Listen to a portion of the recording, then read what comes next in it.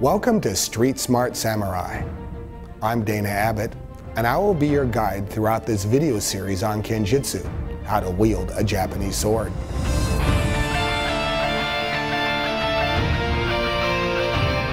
At the beginning of any endeavor, one must have a plan of action to follow and abide by. To become proficient, focal points are used as a guide.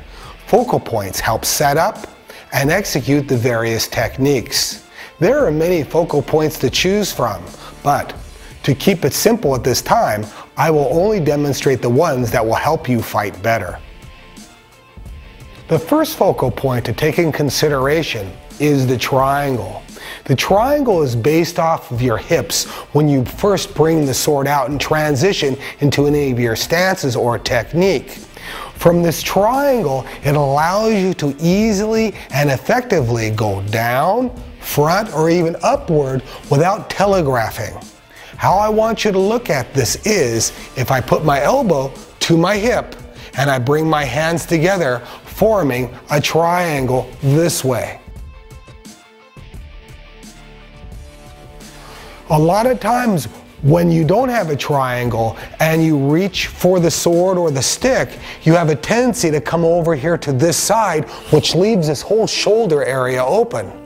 If you maintain the triangle, no matter which way you're going to execute a technique, you will always be on target, easier, sooner, and faster.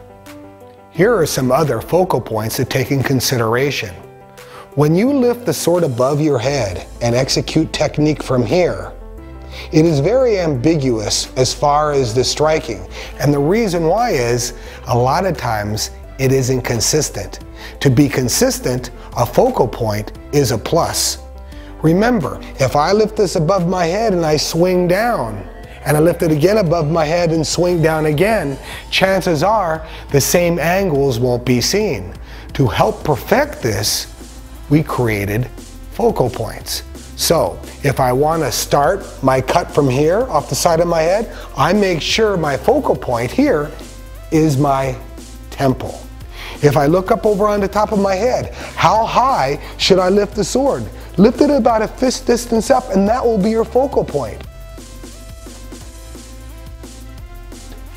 When I get ready to strike down onto the target, where do I strike or how do I do that? Well, of course, there's many ways to train, but if you bring your hand up to your nose with this focal point and then bring it straight up, it will be always consistent because most of the time when people grab the sword, they usually come this way one time, this way another time, this way another time. Therefore, you can even see yourself, the cuts and the strikes won't be consistent. How about a focal point to your opponent? Usually, if you keep the sword right at his throat, this is a very good strong center mass focal point.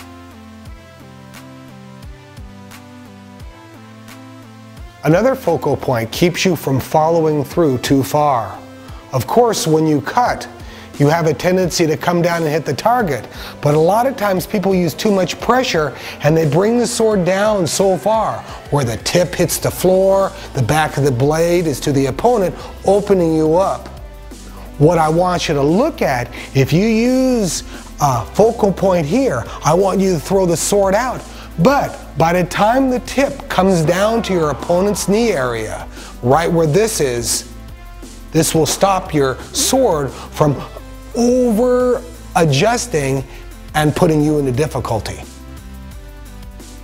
Let's review some of these personal focal points again. Focal point, the tip of the nose. When you do lift your hand up to the sword and grasp the handle, make sure it passes over your nose and touches it every time to be consistent. When you lift the sword above your head, either on the right or left hand side, have your thumb go into the temple area and bring it up that way. Just to make sure that if you're doing a right or left downward diagonal cut, it will be consistent. Another focal point to remember is the fist above your head. If it stays a fist above your head, you'll be able to cast consistently all the time. Your Triangle is another important focal point I want you to use. Moreover, if you see your personal focal point coming down below your knee or your opponent's knee, remember that you'll overshoot your technique and be put into difficulty.